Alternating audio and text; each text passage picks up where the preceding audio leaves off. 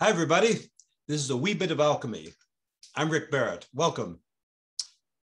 Today, I'd like to discuss uh, a bit about establishing relationship to the to space in in terms of heaven and earth and yin and yang. And one of the questions that came up in the uh, uh, the talk just previously is what distinguishes yin and yang? Why do we consider, why do the Chinese uh, consider yang to be, or heaven to be the most yang and, and earth to be the most yin? And so I think a real important point is just to remember is that these are just descriptions. These are ways of, of thinking about things. And they, the question comes to what do they evoke in you? And this gets to the relationship part that I want to talk to, is it's defining your relationship to stuff and to non-stuff. And when we do that, things change. We change whenever we change the relationship to it. So we're looking at it from particular perspective. So there, in terms of yin and yang, there is no absolute yin and absolute yang. In the I Ching, heaven is considered to be a metaphorically absolute yang. It's it's where you, even though we um, uh, in, in practice it's probably not, but the the idea of heaven is where we have moved so far from form and and into insubstantiality that there is ultimate expansion and there's nothing to contract around. Whereas Earth is very contracted, very, very solid, very dense. And, and so it is where yin and substantiality meet. So we the the more substantial it becomes, the more the denser it becomes, then the more uh, the the more yin it becomes in this case. But since everything has a yin and yang aspect to it. Everything has an insubstantial and substantial aspect to it. You can quickly flip that on its head and turn it around and and make a case for the exact opposite. And and people do. So it's just a question of language. And so I, I um, what I wanted to get to tonight is to just to have say a, a, common language to say this is what we're getting at. So rather than arguing uh, about the semantics of it, and uh, although the semantics are really important, it is to actually go beyond that and just use the words as touchstones that enable us to explore something very important about our relationship to these things. So if we were to consider that a yang impulse is an expanding one and a yin impulse is a contracting one. If we just start with that as our as our foundation if we have that as like a, as a given or as a, a way of thinking about it uh, we can uh, we can then organize information around that. So then we think okay in terms of like say the stages of water. We have the steam is where it gets so hot, it expands so much that it becomes very insubstantial in terms of its of the way it's packed in. Although steam in its insubstantiality still can pack a heck of a wallop, if you've ever been burned by a uh, by steam. It's uh, it's like it. Oh, okay. There, there's something to this. So it's not insubstantial in its entirety, but it is the most insubstantial form of water, whereas the um, ice would be the opposite end of the spectrum, where the water has contracted to a crystalline form, where it has become very substantial very dense, very solid, very fixed in its location and, and its relationships to itself. by comparison. And so we say, okay, that is the yin pole of this, of if we just to consider the different stages of water. And then the fluid state that we are more familiar with is is somewhere between. It's a mixture of yin and yang, depending on how hot it is and how much is flowing, and et cetera, et cetera. And so we take that idea and we move that into our relationships, including our relationship to our environment, to space, to our bodies, everything. We can then label these things as more yin and more yang in a particular context within a particular set of parameters, and which, of course, can be flipped around. And a case can be made for the exact opposite if you want to look at it from a, from a different perspective. So, with that in mind, we want to consider like heaven and earth. Why is heaven considered to be the most yang part? Well, that's because it is the most expanded. Earth is considered to be most contracted. Good. Okay, we got that. And you could also say that heaven is the, the least substantial and earth the most substantial. It doesn't mean that yin and yin and substantial are equal. It just means that they they're seen together sometimes.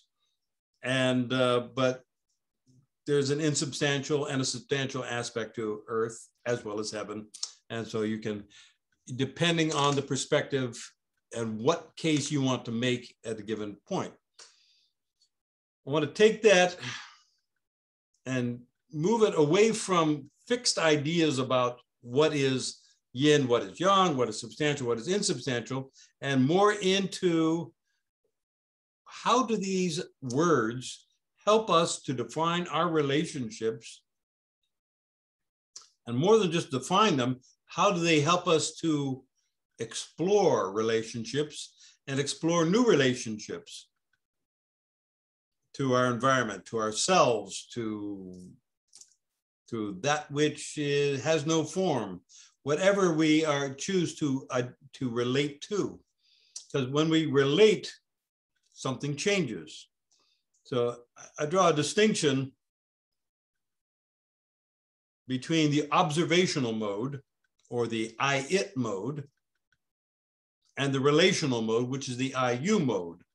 Whenever I encounter someone or something as a partner in an event, something's happening and I've got a partner there. And if I am relating to that person or thing as as you, then it changes. There is no object. There is no, there's nothing to observe. There is only now. And um, there's a, a, great quote from a, a poet, uh, Jude Rittenhouse, who, uh, who said that meaning is, I'm going to goof this up, but let me try it anyway. Uh, meaning is found and sought when we no longer hear eternity in wave after wave after wave. And she's basically expressing, I think, the essence of, of, of Taoism there and that is whenever we start to label things, we start to think about things, then we are move into observational mode and we exit from eternity. And that's fine because eternity is, uh, is a nice place to visit. And I'm sure we'll spend more time there. And you should go there every day. But uh, part of being human is to not get stuck in eternity. It's to get to be able to be in time and to actually have relationships with other people and to think about things and tell neat stories and have experiences and all those things require that you have one foot out of eternity and so the ability to toggle between eternity and and and life is i think an important skill So um, we uh, we get there. Um, we the ability to toggle happens whenever we are moving into that superconscious state. That is, whenever we are able to integrate the eye of flesh, the eye of mind, and the eye of spirit. And just to refresh people, in case those terms are uh, new or forgotten, the idea is that the eye of flesh is that which is occurring prior to conscious thought. So your all the processes of your roughly 70 trillion cells and all the things when they combine together, all those things that are happening prior to the to you in your conscious mind saying, hey, that's hot, or wow, what a nice day. Something like that. You um, prior to that, there is a ton of information that is occurring, much more than your conscious mind can keep track of. So it quickly moves into the, it trips the infinity lever whenever you move quickly into starting to think about all the possibilities of, of just what's happening in your own body. When you get 70 trillion cells and each of those cells having millions of processes going on every every moment and and each of those processes having parts and so then quickly you know things get out of control. So our conscious mind eh, are tasked with the job of just summarizing moments and writing little headlines and little aphorisms that we can remember so that uh, buy milk um, walk the dog, stuff like that, that, you know, we can, we can formulate into simple ideas that, that we can keep track of because the conscious mind is rather stupid by comparison. uh, thank you, Lynn. Uh, um, I got mine. Um, so the conscious mind is rather stupid by comparison to the possibly trillions of bits of information that are happening in your body mind at any given moment. So the uh, so that's the eye of flesh. The eye of mind is that part which creates meaning. It says, "Hey, I can figure this stuff out," and and it creates little summaries that we can we can live by, little notes that we can set there and put on the refrigerator and and say, "Yes, you know, neither a borrower nor a lender be." Or loan off loses both itself and friend, something like that. You can kind of toss that crap out and and remember, and you can set that and you can say, I'm going to live my the rest of my life this way. And we create these, these ideas, and that creates meaning.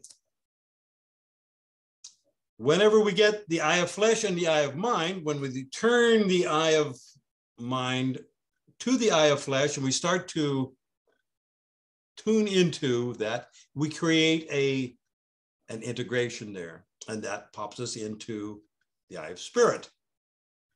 And when those three get together, it's what I'm calling super consciousness. You can think of a catchier term for it if you like, but that's what that's what I call it, just so I can have something to talk about.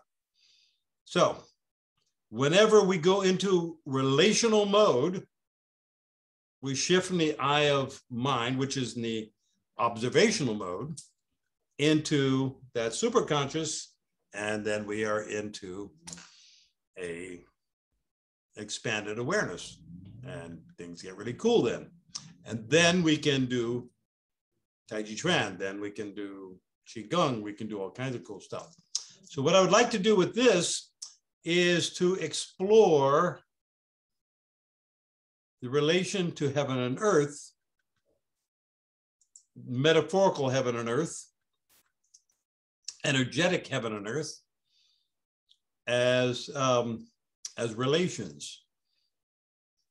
So the first thing you, I think it's important to re realize is that, that the environment that the head occupies is somewhat different than the environment that the feet occupy.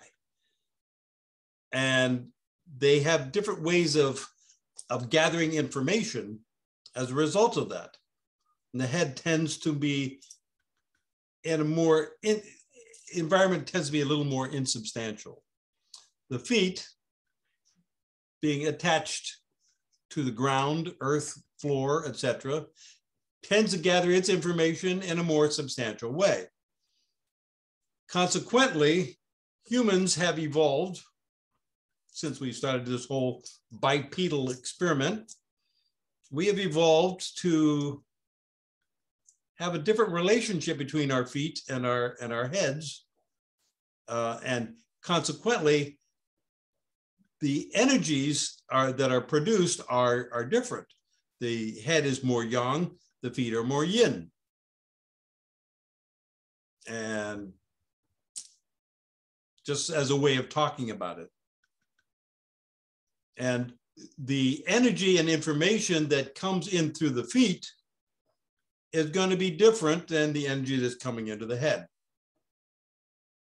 And so we're moving beyond the energy, the information that is purely processed by the intellect and into actually feeling, actually sensing, using those perceptics that are awakened by shifting into a superconscious state. So we're going to do some fun exercises to just explore those relationships. But before we do that, I would like to ask if there are any questions about what I've asked so far so that uh, we not we're moving forward and people got an idea what, what's what's going on. Anybody? No, all good. Great. Okay. So let's let's have some fun then. Okay.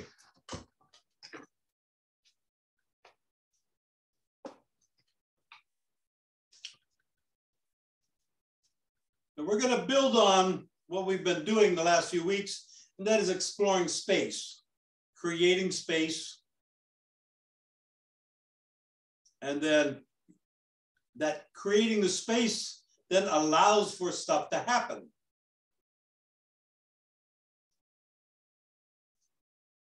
If there's no space there, if you're you're not aware of the space, then you're not aware of, of the events that are occurring there, or you're at the very least, you're not going to get as much out of it.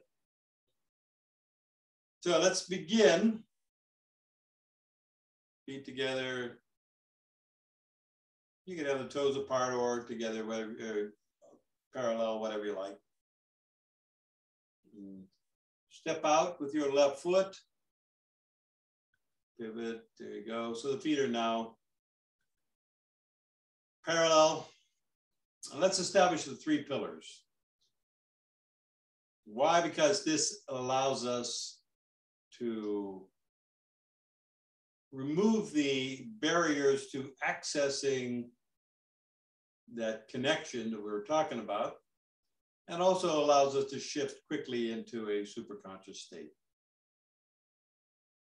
So feel your feet on the floor, feel the balls of your feet. Feel the weight distributed throughout your feet, but your focus, your pivot point is right on the balls of the feet. Reach for the crown of your head and tuck in your chin. As you do that, you open the jade pillow gate at the base of your skull.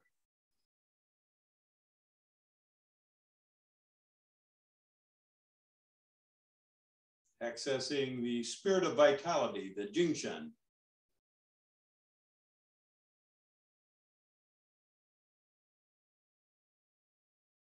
Knees are unlocked, not bent much, but unlocked.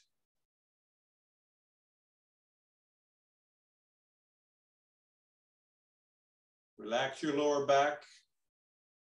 Allow your sacrum, your coccyx to reach to the floor and level out your pelvic bowl.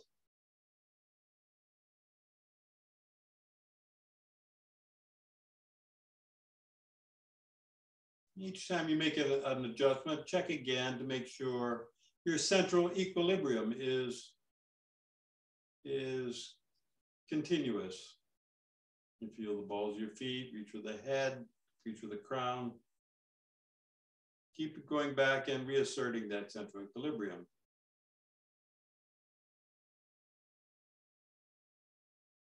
Point your index fingers, feel the energy in your hands, feel that connection.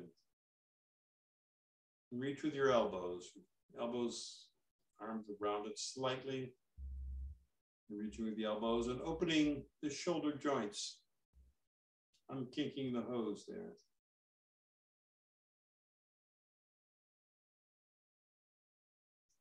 Release the quad. Allow yourself to sit down into your legs.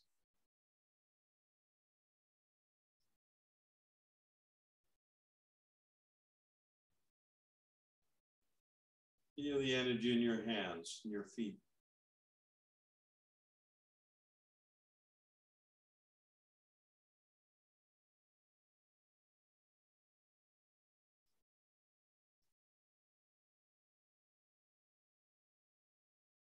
Feel down through your feet. And feel the space below.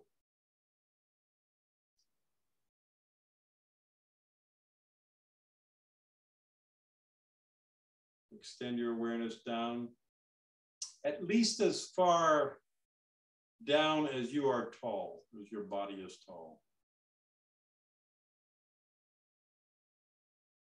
We'll take that a little deeper, but let's start with that. There's, um, imagine a bubble there that extends down that could contain your entire body if you if you like what we have here is we have the substantiality of Earth, and then we've entered the insubstantiality of this bubble there, this space.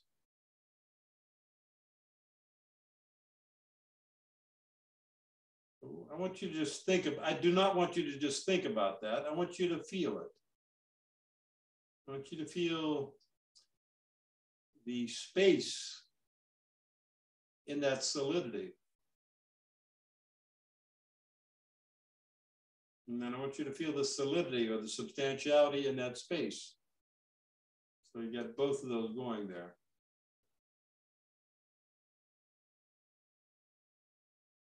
Feel your body sinking deeper as you get more comfortable with that space below your feet.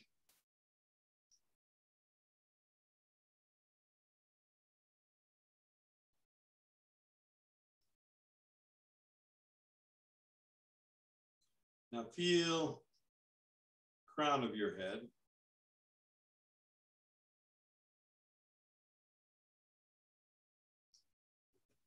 I want you to feel a point in the space above your head, about six inches.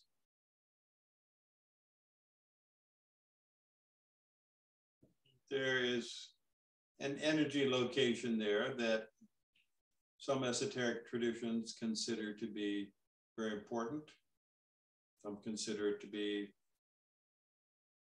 one of the additional chakras. It doesn't matter. What matters is that when you reach up here and you locate that point and you reach up with your crown to that point, you're establishing a relationship to something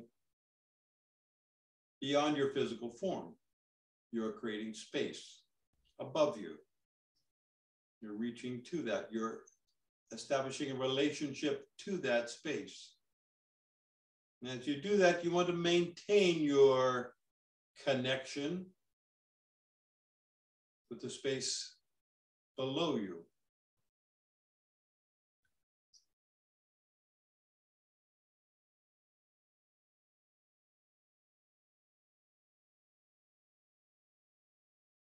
As we move into that insubstantiality, the space above us, it opens certain gates that allow for energy and information to enter. They're not accessible to the eye of mind. The labels that I've just given them are not really all that important other than just something to talk about. What's important is your relationship to it.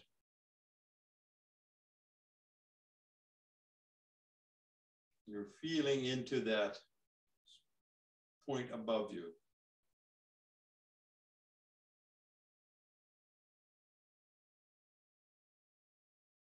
Feel into your into your body, and it will give you some feedback about this. You're probably going to notice your hands getting quite um, lively.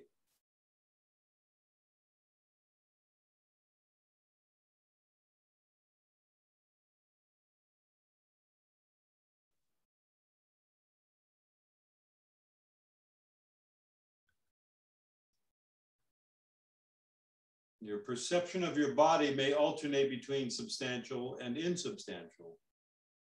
You may feel it as a density or you may feel it as space, and both are true, depending on whether you're perceiving the yin or the yang, the insubstantial or the substantial.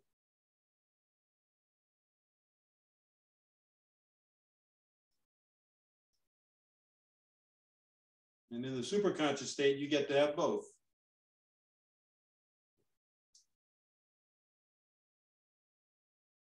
Extend your awareness even higher.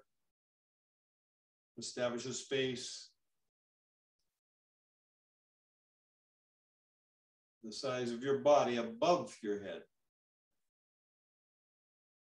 Create an insubstantial space there that you can then occupy. Feel the space below your feet, feel the space above your head.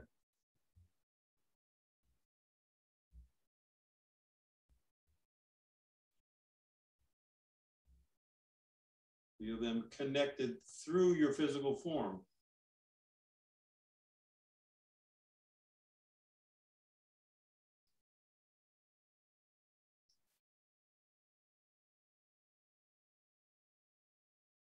Now, our capacity to establish relation is directly related to our ability to reach. That is, anytime we reach, we're extending awareness with a specific intent.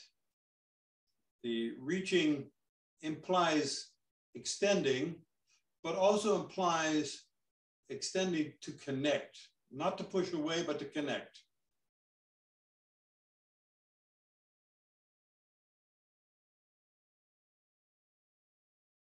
So feel yourself expanding even farther.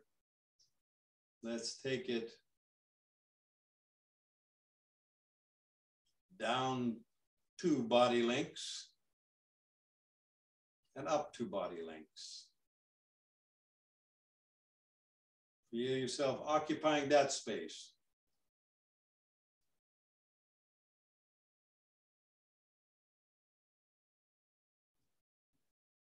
So you're reaching into an area that maybe you don't occupy that space all the time. Maybe it would be impractical, but you're in a safe environment right now, so you get to explore that.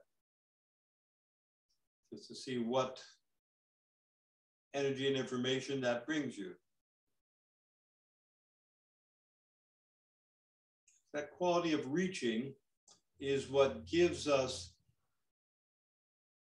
any kind of qigong exercise you do or tai chi chuan or any kind of internal martial art we're not just doing particular memorized set of movements which are designed to produce a certain physiological effect although they do do that.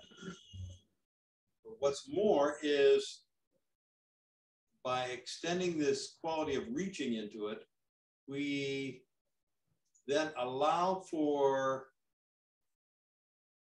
a connection to the heaven and earth energies.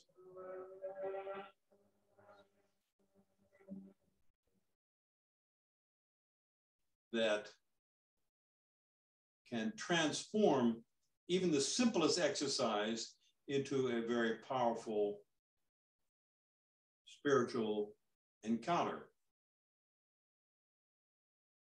So I'd like to do a set now that I learned, gosh, maybe 30 years ago from, um, I learned it from uh, Dr. Yang Jwing Ming seminar I was doing at the old Taiji farm.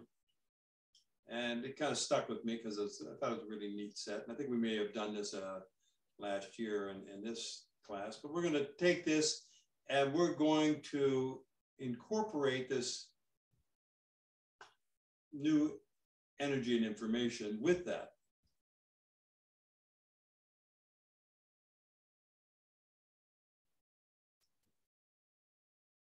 Hands up.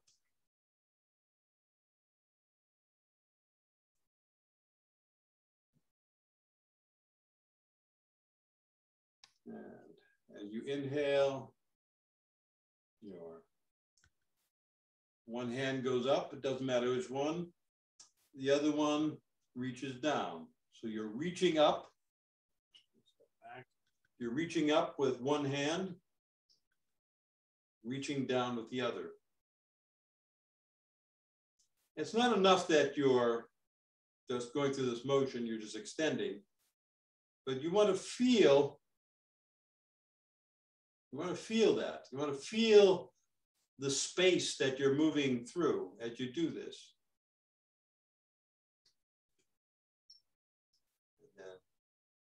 The other one hand comes down, the other goes up. And reach. Really extend, lengthen. It's that quality of reaching that opens new possibilities.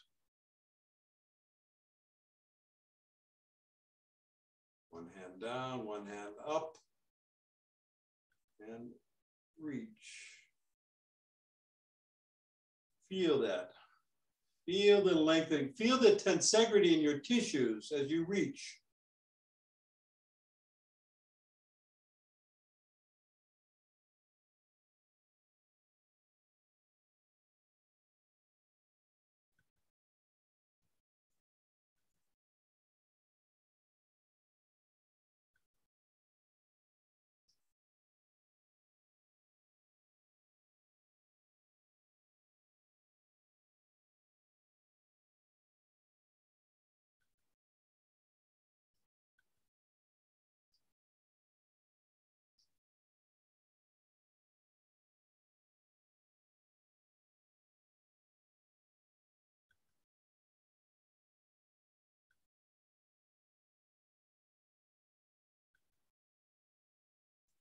Feel the, even those little turns of the forearms.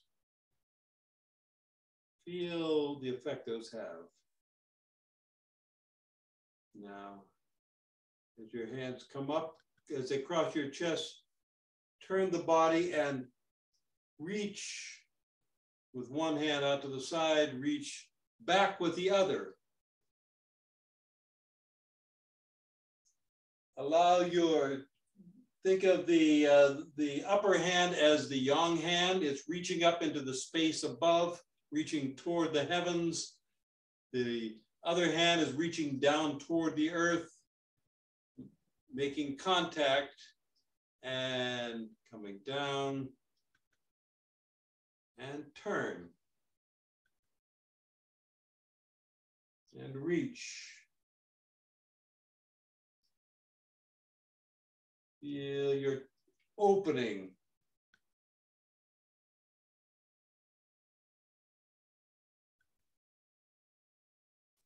Turn.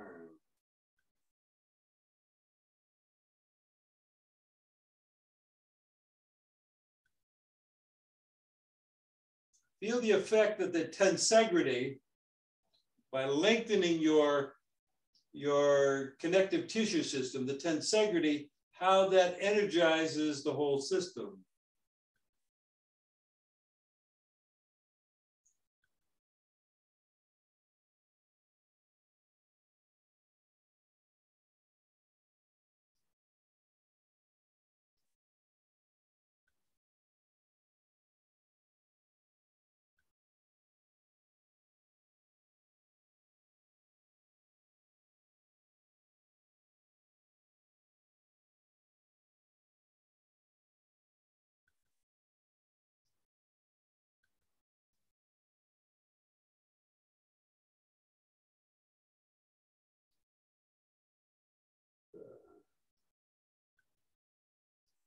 Now step out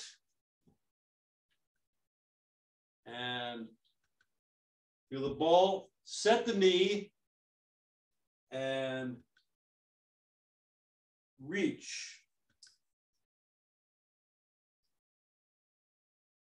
You'll notice that my knee is, I'm not going so far forward, knees just slightly a, a forward of, of vertical.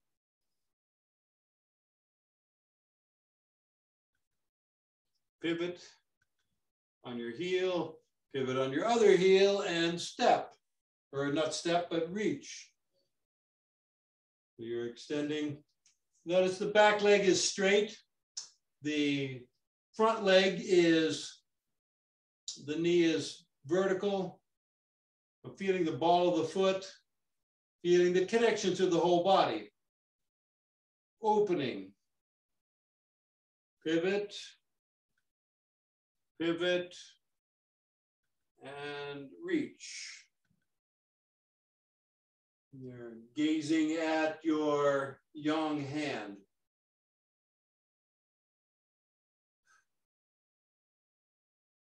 Pivot, pivot,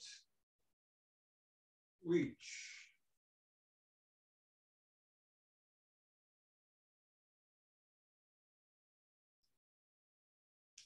Pivot, pivot, reach.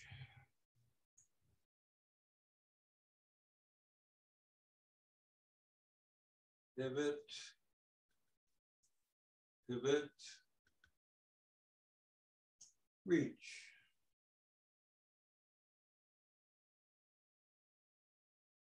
Back to center.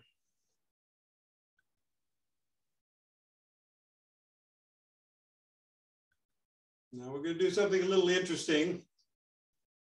And we're going to do nice slow motion so you can get the idea on this.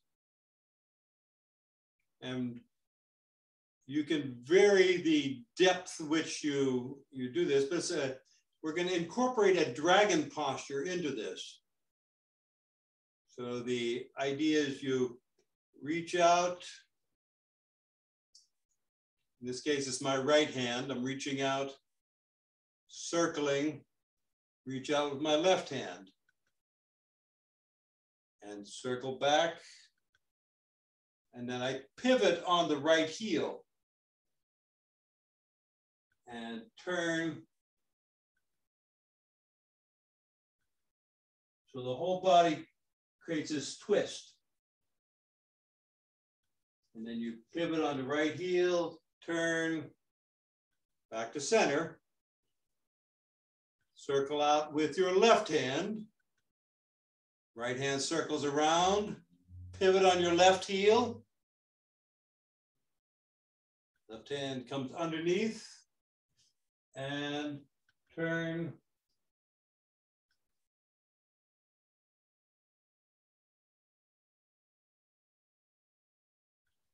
turn Arms come around. Reach with your left hand. Reach with your right hand. Circle. Pivot on your right heel. Right hand comes behind you. Left hand reaches around.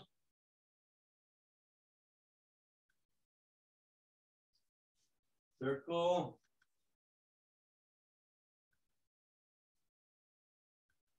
Left hand underneath, circle, reach around with the right hand, and then you sink, left hand behind,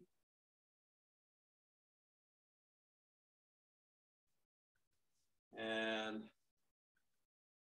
back to center.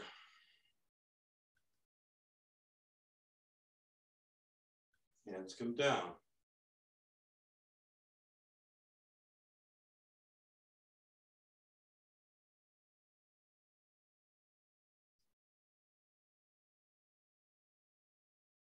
Very slowly rotate your forearms.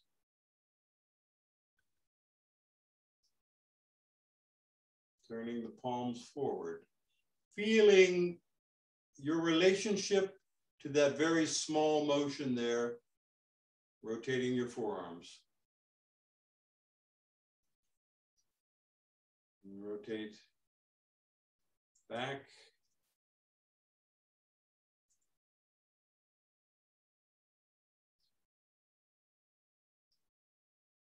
Rotate. Deep breath.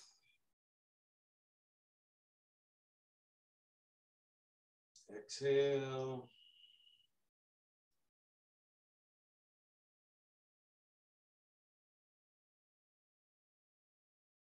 One more inhale.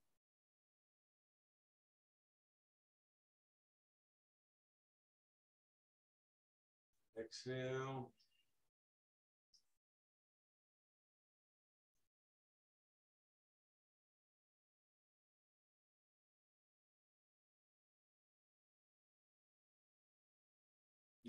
Feel into all those motions that you've just done.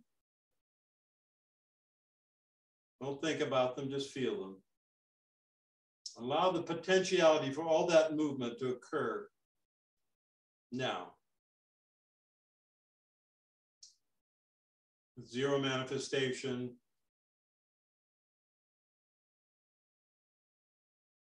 Infinite potentiality. Feel the earth under your feet.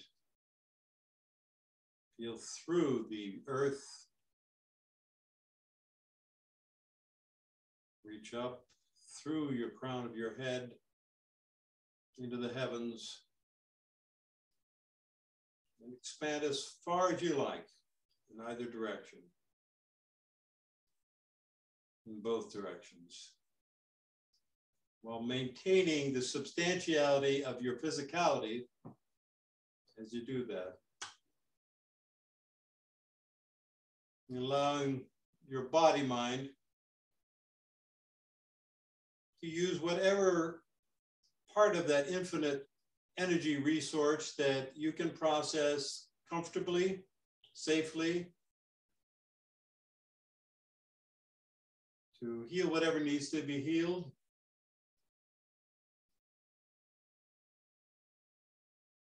And to create whatever structures that will serve you for your for the highest good.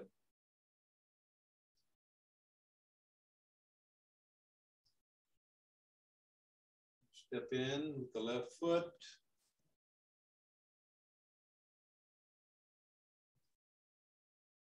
Take a deep breath.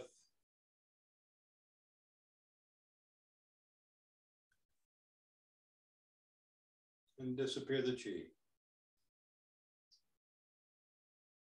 Throw it away.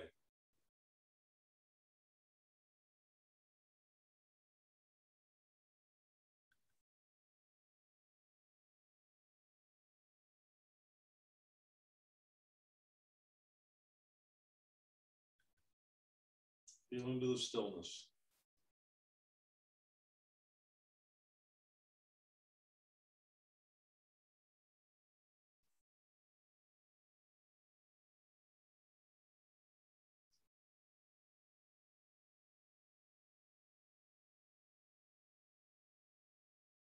Okay, grab a seat, please.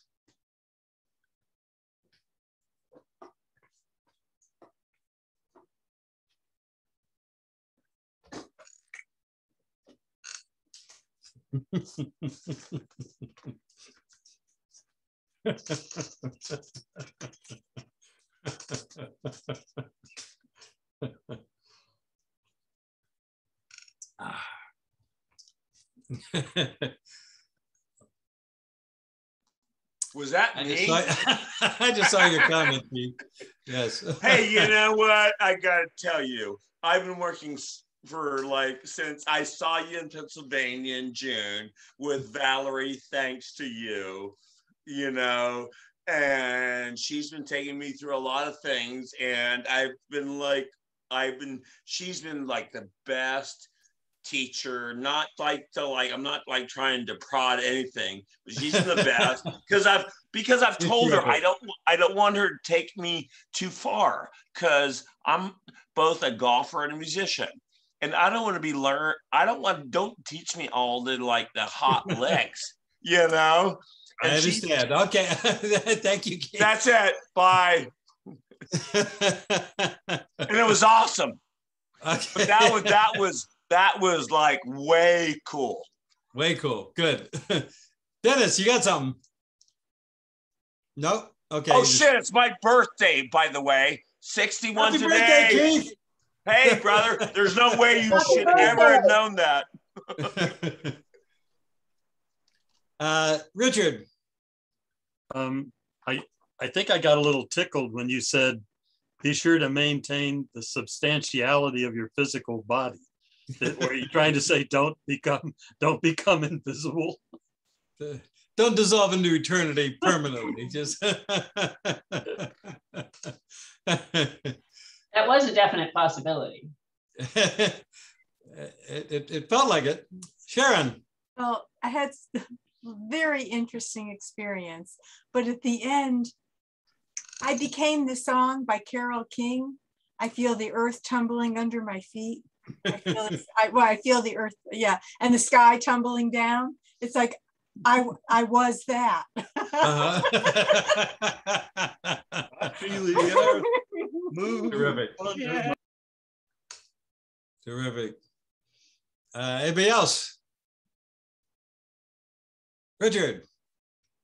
um, I this is the first time I I sort of extended what we were talking about, and I when I was reaching, I was reaching up to the roof of my house and down to the floor of my basement, and uh, I felt as though I was now in the middle of a much stronger uh, field of energy um, much more comprehensive and much more powerful. So th- thank you for that. That just that that gave me a better understanding of reaching. Thank you. Beautiful. Wonderful. Valerie. Oh, I went out to a football field. I wasn't messing around with any any two person above me or whatever, and being very very circular in that. So nice. you know, out to the sides and out front and back, um, and still got in that space, kind of the same space I did last week of substantial, insubstantial, yin yang. I mean, I could focus on something being yang and I could focus on something being yin, but it was so fluid that it, there was no longer any point to it, uh, if that makes any sense. It was like, it was all coexisting at the same time in every place in my being, which became, uh, it wasn't invisible, it was just huge. It was just huge and no limit. And by the by, when you were um, talking about, you know, like the steam and the ice cube, um, eh, you know, I've heard that before, but it it uh, made much more sense to me. Why, you know, then yes, heaven is uh, deemed being, you know, the ultimate yin and earth being, I mean, the other way around, being the ultimate yang and earth being the ultimate, um, you know what I'm trying to say? Words. Yes. Uh, Yes. so I, I did like that that comparison. It just uh, that expansiveness. Right. As by no means gospel, it's just a way of looking at it that I think is helpful in this particular context to think about it that way. Hey, you know, brother, take it as gospel. That's Ricky Dog. You all you guys are like 30 year fucking members. Excuse me. It's my birthday today. I'm checking out. Love you guys. Thanks for allowing you guys to allow me to attend. Happy birthday, Keith. Happy birthday. Happy Birthday. This was Sunday. Lynn, I just wanted to echo a little what Valerie was saying about we going. I found a lot of roundness happening. Like I couldn't go up without going out. It's just sort of coming sort of at least cylindrical and then mostly like going in all directions Spheroid. at once. Yeah, yeah, spheroid to be Spherical. technical. And it just felt so much better when I didn't try to limit, when I just let the expansion go. terrific. Yeah. Terrific. It was true. Great. Scott, I was having a little trouble with it, um, with the hands until I decided to focus on the, you know, the, I don't know what juxtaposition, I guess, of the, of the two hands and the space between them and them pulling apart. And then everything went fucking well. Yeah, great. yeah, So it's that reaching thing again. That yeah, The, you know, feeling the relation between the two, between Exactly. the two, and then we have, we, we're creating energy flow by establishing relationships. Terrific. And that last, uh, that last dragon move is a very earthy move because earth chi and, and, and uh, the elements is, uh, is round. So it, you know, has that quality of integrating the, um, you know, all of those elements into the roundness. Cool. Okay. Anybody else? Great. Well, thank you all so very much. This has been uh, just a lot of fun. Thanks for the opportunity. And uh, Hey, thank y'all. thank you, Maria. Thank you, Maria. Hello. Hey, Maria. Thanks, Maria. Goodbye. Bye.